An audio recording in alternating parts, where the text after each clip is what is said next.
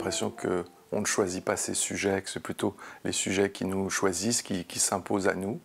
Euh, j'ai eu une passion pour, euh, pour Paul Gauguin pendant plusieurs années et Ségalen est dans la lignée euh, et dans le cheminement aussi de, Paul Gauguin puisqu'il a été le, finalement l'héritier de ce peintre. Pour moi, il y avait une sorte de, de, maillage entre ces deux hommes et puis ces deux hommes ont été marqués tous les deux par la Bretagne, la Polynésie et d'une certaine façon l'ailleurs. Je suis moi-même euh, breton, j'ai passé mon enfance en Polynésie et euh, j'ai une passion pour l'Asie depuis, depuis toujours, probablement à cause de mon grand-père qui était euh, officier d'infanterie coloniale à Saïgon dans les années 30. Et tout ça, ça a nourri une sorte d'imaginaire. De surcroît, euh, Victor Ségalen est brestois et je suis brestois. Et quand on est brestois, euh, on est au bout euh, du continent européen, on est face à ce goulet qui est comme un, canon qui, qui, emmène les bateaux vers le large. Et tous les brestois sont un petit peu partagés, je crois, entre un attachement à la terre et aussi cet appel de l'ailleurs, qui est un peu indistinct, c'est sûr, mais qui fait partie, je crois, d'une sorte de merveilleux, un merveilleux colonial et maritime, et qui ensemence les gens qui habitent de ce côté-là de la terre, de ce côté-là de la France. Donc Ségalen m'a paru très évident, finalement, d'autant que c'est un personnage énigmatique, mystérieux, dont on ne sait pas tout. Euh, son journal intime a été brûlé par lui-même en 1918 un an, avant, sa mort. Il va avoir 41 ans. Une partie de sa correspondance a été détruite à sa demande, notamment la correspondance avec Auguste Gilbert Desvoisins, son, ami intime. Euh, et puis c'est quelqu'un qui a beaucoup écrit mais a peu publié. Euh, curieusement, euh, quand vous voyez l'œuvre complète de, Victor Ségalen, ça fait deux énormes volumes chez Robert Laffont. De son vivant, il n'a publié que trois livres dans une indifférence totale.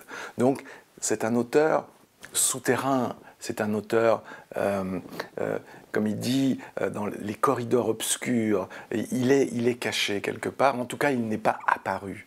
Et moi, ça m'a semblé être un, formidable personnage de roman, bien sûr, parce qu'il est très romanesque. Il faut remettre ça dans le contexte. Hein. Il meurt en 1919 dans des circonstances très étranges, très bizarres, euh, euh, en pleine forêt bretonne, euh, sur un ancien tertre féodal. Et là, on le retrouve en grand uniforme de marin, de militaire. Il est officier de marine, le, le tendon coupé. Et dans cette mare de sang, puisqu'on le retrouve deux jours après dans la forêt, dans cette mare de sang, il est là, allongé, comme un promeneur endormi, dira son épouse, qu'il le retrouve. Il a Shakespeare à la main, et il a mis à l'intérieur de Hamlet un certain nombre de feuilles, un certain nombre de photos, comme s'il adressait un dernier message. Il y a plusieurs continents sur lesquels euh, Victor Ségalen va, s'activer d'une certaine façon, va s'électriser, euh, à la fois la Polynésie avec Gauguin, et puis surtout la Chine. La Chine, c'est, je dirais, son, son terrain personnel, particulier. Euh, c'est là où il va devenir véritablement écrivain, c'est là où il va prendre toute sa dimension d'explorateur, d'aventurier réel, dans le réel. Il se coltine le réel. Il va faire trois séjours en Chine, euh, il va vivre à Pékin, euh, il va explorer la Chine au niveau archéologique, il va faire des découvertes qu'aujourd'hui encore les sinologues considèrent comme des découvertes majeures, et puis surtout, il considère Pékin comme sa ville. Il dit c'est ma ville. Pourquoi? Parce que Pékin est aussi une ville complexe euh, qui fonctionne comme un rébus. C'est un carré entouré d'ondes concentriques, euh, euh, bâti selon certaines arcanes du yin et du yang, selon le feng shui, etc. Et Ségalen y plonge. Et lors de son premier séjour à Pékin, en 1909, très vite, puisqu'il apprend le chinois, on lui présente un jeune homme qui s'appelle Maurice Roy qui est le fils du directeur des postes de la légation. Et ce garçon, Maurice Roy, Maurice Roy un jeune éphèbe, euh, assez beau, euh, dont on soupçonne qu'il aime autant les hommes que les femmes, lui explique Cher Victor, figurez-vous que j'ai mes entrées dans la cité interdite. Victor est intéressé. Cher Victor, figurez-vous que je suis l'amant de l'impératrice. Cher Victor, figurez-vous que j'appartiens à la police secrète.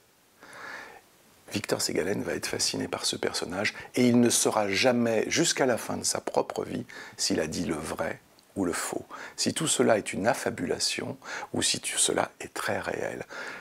Il va essayer de le coincer en lui posant des questions, en recoupant les choses. À chaque fois, l'autre s'en sort. Il lui envoie douze missives de l'intérieur de la cité interdite j'ai eu en main ces douze missives. Elles sont adressées à Victor Ségalen. Elles sont dans, un dans des petites enveloppes avec un papier chinois extrêmement complexe dans lequel vous voyez presque des fleurs, des algues, etc. Et Claudel, qui les avait vues avant, disait on y voit aussi des cheveux de femme. Et sur ce papier plié pour que ça rentre dans les toutes petites enveloppes, c'est des petites enveloppes grandes comme ça, vous dépliez, et là, parfois, sur du papier blanc, avec une encre rouge, Maurice Roy raconte ses ébats avec l'impératrice.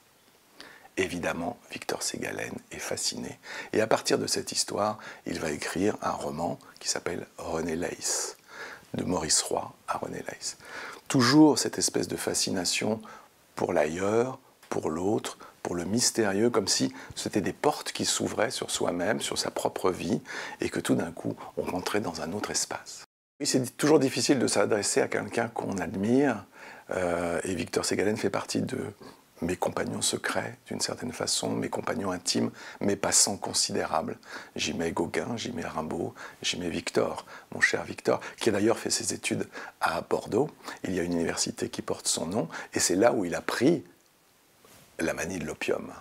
Il commence à fumer à Bordeaux en 1901, probablement grâce à quelques camarades de médecine, puisqu'il fait une fac de médecine.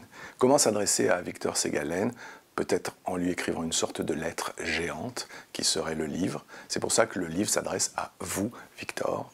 Euh, et ça commence par sa mort et ça finit par sa mort. Et à l'intérieur du livre, je remonte un petit peu en arrière.